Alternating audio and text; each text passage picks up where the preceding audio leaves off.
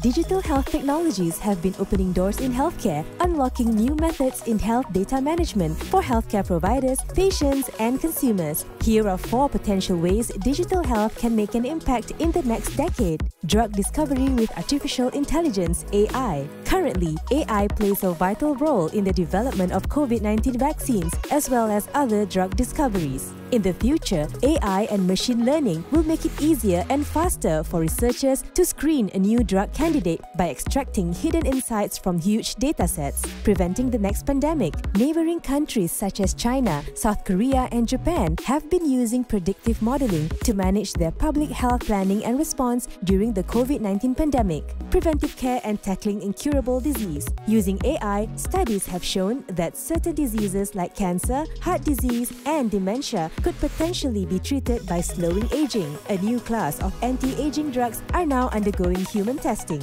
Genetic medicine. This is a promising new class of medicine that is tailored to a person's genes and would be useful for extremely rare diseases which are caused by a specific DNA error. Genetic medicine can be programmed using AI to correct or compensate for inherited diseases. Be part of the future. Learn more about the IMU Digital Health Program.